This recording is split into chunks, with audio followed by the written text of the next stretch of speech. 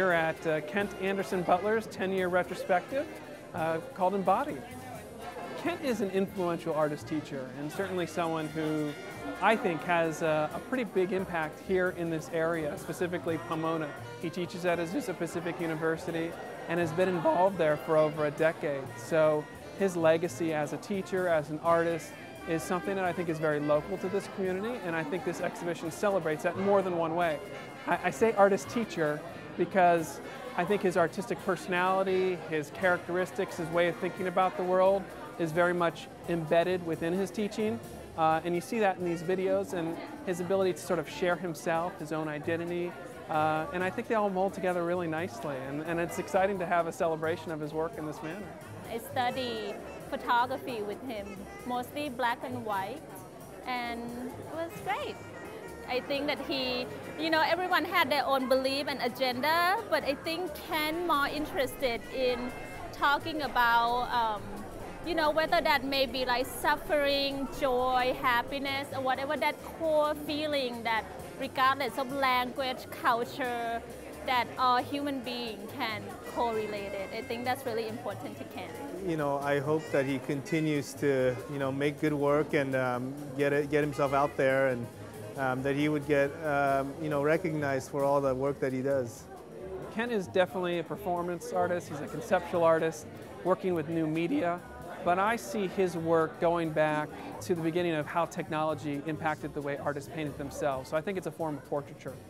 Uh, and so uh, as we discover the concave mirror and how artists can see themselves and how they can replicate their image uh, on a canvas, on a panel, artists have begun to use technology in innovative ways. And we're, this is hundreds of years old. And I only see Kent's use of new media as the contemporary language for self-portraiture, because this is what he's doing. It's just moving.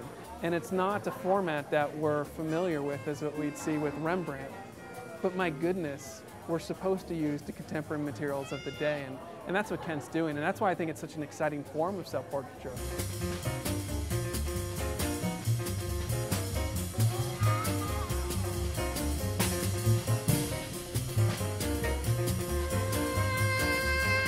Yeah, you know, I, in the last issue of Artillery, I wrote that piece about um, Paul Payment's radio show. Oh, yeah, Did you read that? Yeah. And, you know, he was sort of playing on the idea of uh, Hugh Hefner's Playboy After Dark. Mm-hmm. You know, so I, but we could call this Artillery After Dark. I'm Christopher Michno for Artillery. I'm here tonight with Kent Anderson Butler at the Kellogg Gallery at Cal Poly Pomona.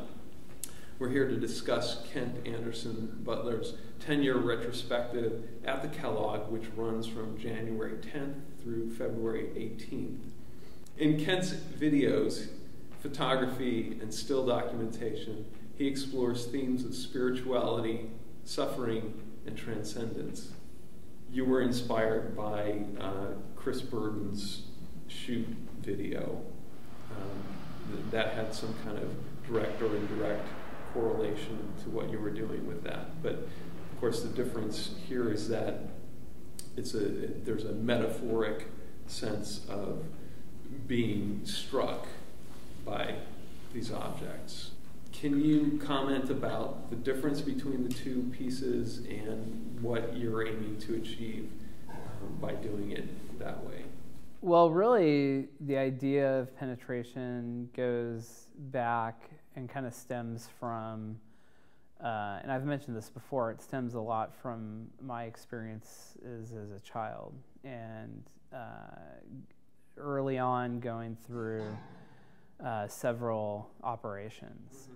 Mm-hmm. And, uh, you know, I was born as a preemie. And so uh, there was several problems uh, with my body, both physically on the outside, but also internally.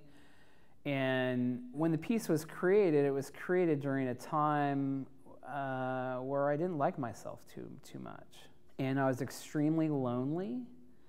Uh, and I, I, just felt as if there was uh, kind of a void in my life, and I was extremely angry uh, at myself. Uh, and so in some aspects, it was a way for me to kind of get out that frustration. Now the piece is extremely hard for me to watch uh, and experience myself because because I'm in a different place in my life now. But, so it conjures up all those old yeah. feelings.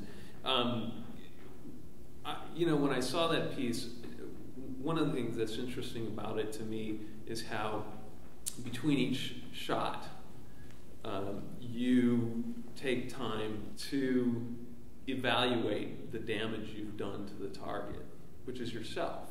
Um, and I wondered if there was something there about uh, fracturing the self or, or, just your sense of self. Well, I think uh, all my work stems from this idea of working with the body. When I look at my body, I see this physical mass, and it's very tangible and it's very physical.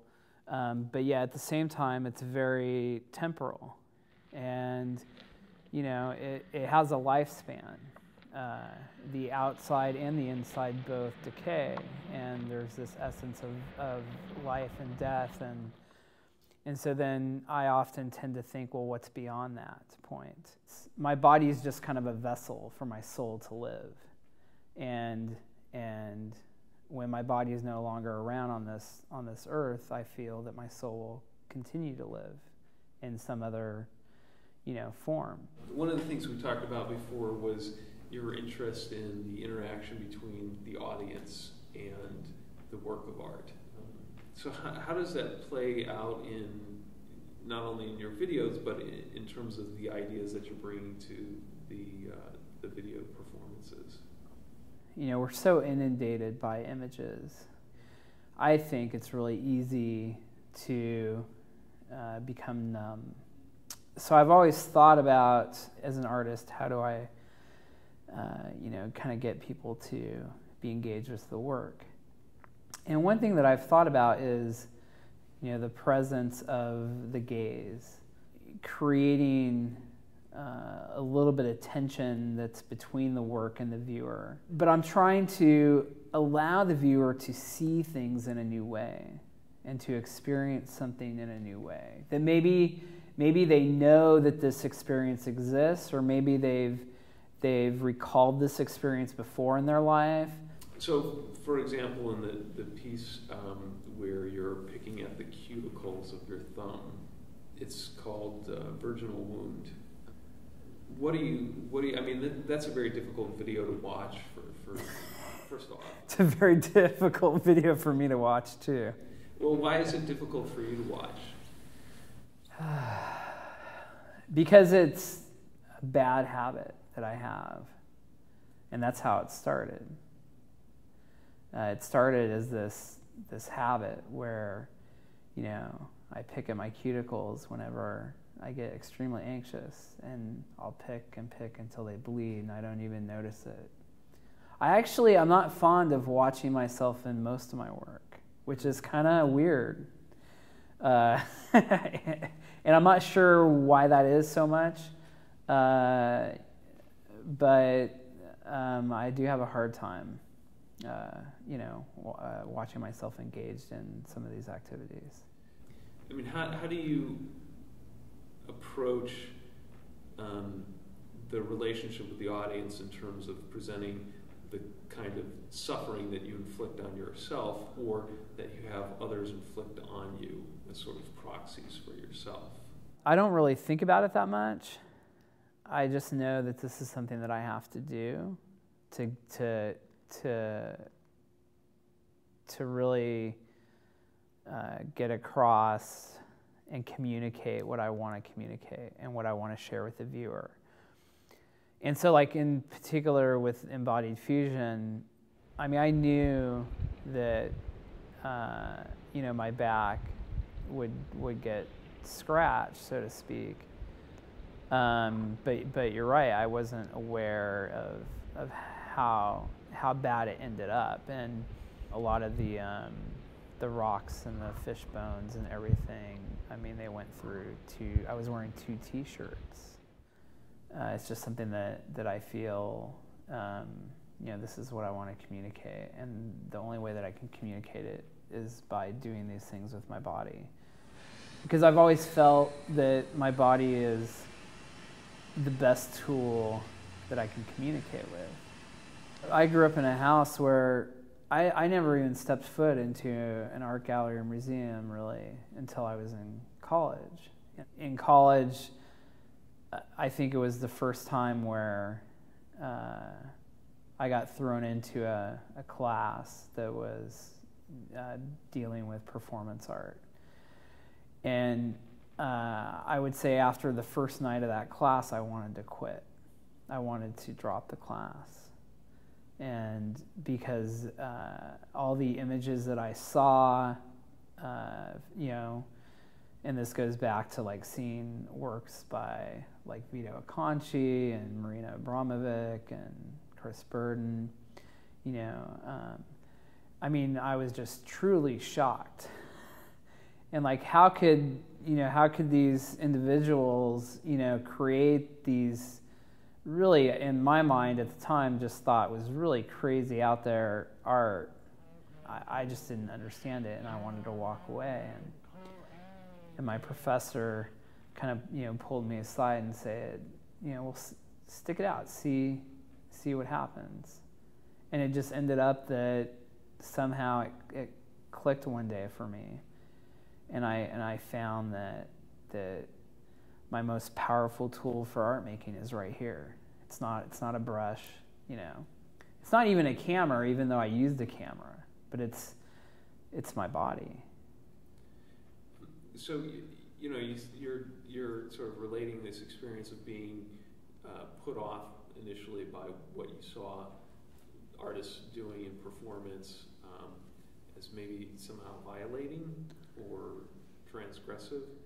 Um, and yet, at the same time, you were enchanted by Chris Burden's shoot performance. Um, and, and that was a pivotal performance for you in terms of how you saw uh, the power of performance being able to sort of transform somebody's perception. Um, can you talk about that a little bit? Yeah, well, I, I, I remember when I first saw the video of, of that piece, and um, I just was so amazed by it that somebody would go out of their way to have themselves shot for the sake of what somebody might call art. And is this art? And and and at the same time, I was really excited about it because I was like, because it made me think. It was it was a it was a pivotal work for me inspirationally because it it was a piece of art that that I actually went home and spent you know hours thinking about and and was like man if if if you know if a piece of art can do that for for a person experiencing it that's that's extremely powerful. Um, so I think that's kind of where I got hooked in terms of like, what would it be like if I created something with my body? And I still remember like some of the first, you know, pieces, if, if that's what you know, I guess you would call them that I ever did. You know, was was during my time as an undergraduate student, and it, it was like I fell in love with with this medium, but at the same time, I may not like my body that much, and I struggle with my body, uh, you know, physically and personally, I can still, I can still create with it, and nobody can, you know, stop me from doing that. The pain aspect of it for me is really temporary, for the most part. Although, although I would have to say, you know, I'm sure I'm feeling longing effects of things the older I get, of things that I've done in the past to my body. But I mean, for the most part, I'm more concerned about what it is that I want to say with a, a particular piece. And, and sometimes that may involve those kinds of things. One of the things that um, is important in your work is faith Um, so, in terms of like you sort of struggling with what you believe or how you believe it or how it's relevant to you, how does that take shape in, in, in the way you approach your work and the things that you struggle with? Well, I think growing up, I came from a, a very kind of traditional Baptist, you know, Protestant upbringing until I got off to college. And then when I got to college, I began to have a lot of doubts and began to have a lot of questions. It was during that time throughout college where, and in graduate school, where I really began to try and work out a lot of those questions in the work that I created.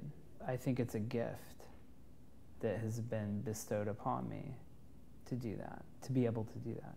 This is who I am, and I, I actually feel that that people connect with with my work and with me more because of that, because there is that sense of vulnerability, and I think that that's something that you don't see so much of in the contemporary art world. You know, my hope is is that that as I continue to open up my soul and share my work with with others that more and more people would be interested in the dialogue that the work creates.